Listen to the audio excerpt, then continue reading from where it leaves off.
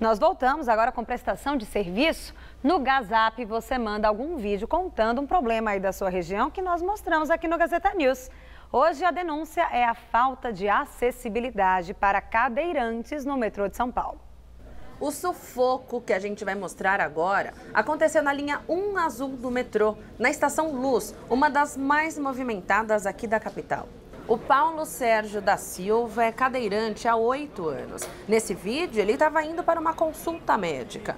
O Paulo precisou da ajuda de vários homens, também passageiros do metrô, para conseguir descer as escadas. Depois, foi a vez da escada rolante. No total, foram mais de dois minutos para ele conseguir descer e chegar até a área de embarque do metrô. Se você também tiver uma denúncia grave e quiser cobrar as autoridades, faça um vídeo e mande aqui pra gente. O número é 11 aqui de São Paulo, 991616121. Só não se esqueça de fazer a gravação com o celular assim, deitado. Se tiver ainda qualquer dúvida de como fazer o vídeo, acesse o nosso site porque lá tem todas as dicas. Então, participe! Olha, em nota, a companhia de metrô respondeu que todas as estações são acessíveis e essas pessoas dispõem de uma equipe para quem auxiliar quem precisa.